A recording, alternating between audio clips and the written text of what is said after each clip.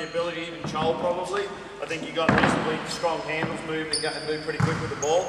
So guys like that, even Morgan, and, and even you, um, whatever your name is, Isaac and Jake. Right, you guys can push the floor, and, and I think safely, if they're going to double team, like we get like if it's full court man, um, chances are they're just going to turn you and slow you down. And if, if, if there's like full court pressure extended, normally it's just saying to a big Zach or whoever, come and set a back screen on, on the man, clear, like clean the, you know, clean them up.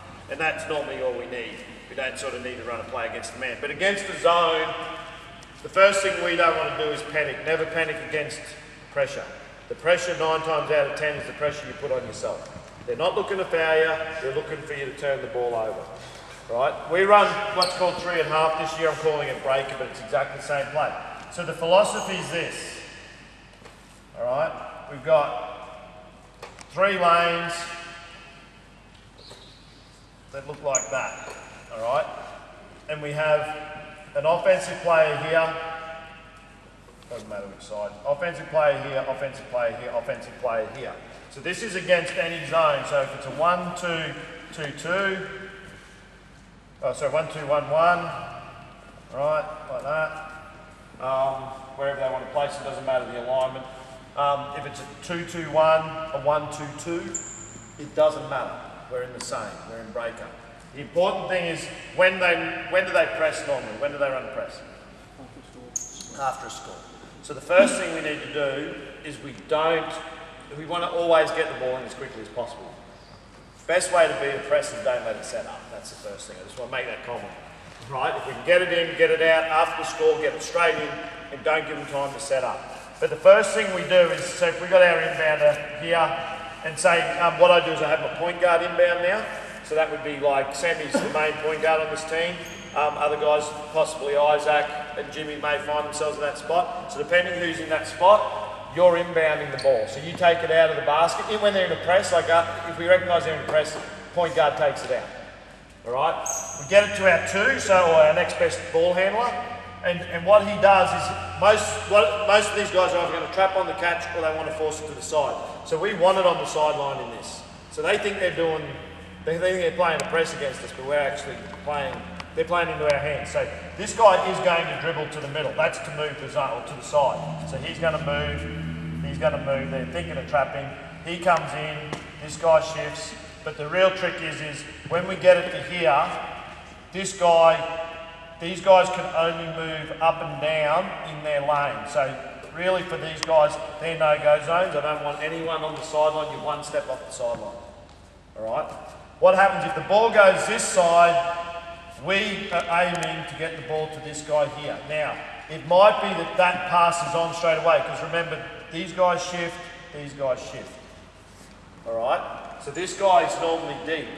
But if you recognise it and you can throw the pass, soon as the ball comes in this side it goes to that side, this guy can go. You don't go all the way, you go to, to a distance that they can make. Does that make sense? What we're looking for is normally hitting the ball. We can either reverse it and hit the middle, and then he kicks it on, or we can lob that to there. That is a rare pass, but if you, if it can be done. The idea is, is the zone, doesn't matter what the zone is, it's going to shift. And what we want is a three on one or a three on two fast break. Nine times out of ten, that's what you get out of this.